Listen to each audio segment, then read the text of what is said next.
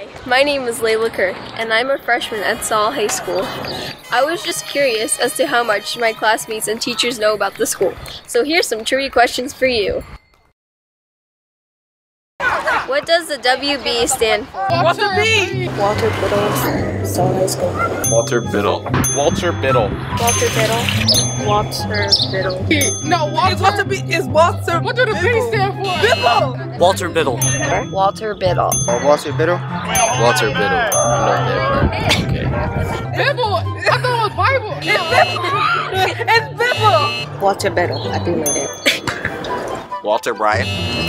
It's Walter Biddle. Bibble. Bibble. What's the original name of Saul High School? The original name? I don't know. Uh, I don't know. I'm not. I'm not sure at all.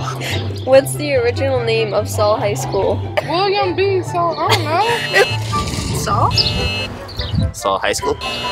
Walter Biddle Saul. Walter B.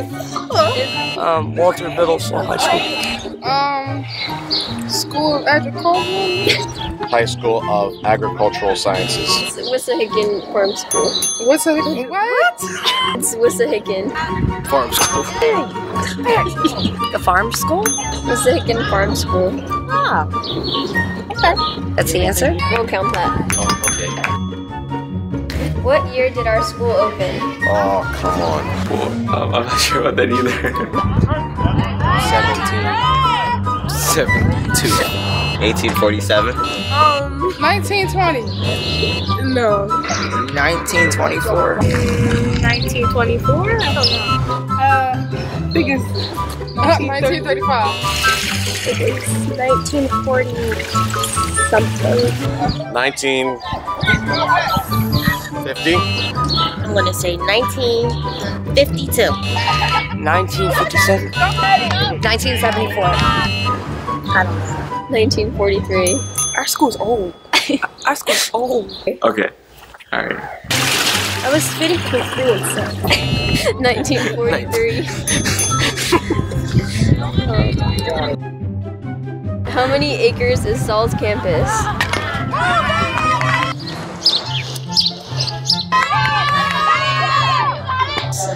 Um.